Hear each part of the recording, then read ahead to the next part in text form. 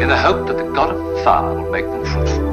Really, you can hardly blame them. After all, what girl would not prefer the child of God to that of some acne-scarred artisan?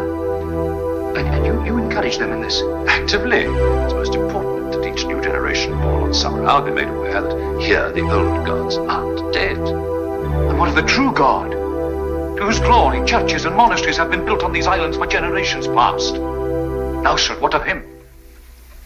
He's dead. He can't complain. He had his chance, and in modern parlance, blew it.